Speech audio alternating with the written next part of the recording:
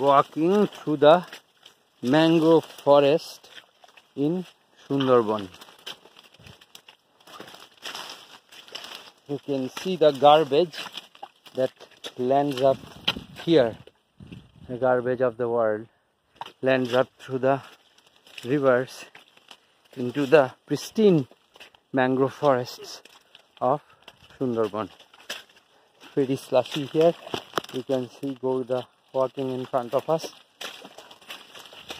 But as we go towards the land, the slush will go down. It will become easier to walk. But here is the mangrove forest.